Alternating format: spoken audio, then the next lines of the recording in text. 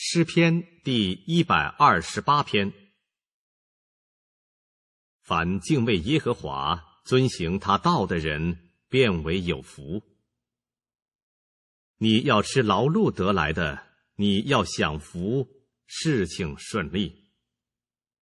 你妻子在你的内室，好像多结果子的葡萄树；你儿女围绕你的桌子，好像橄榄栽子。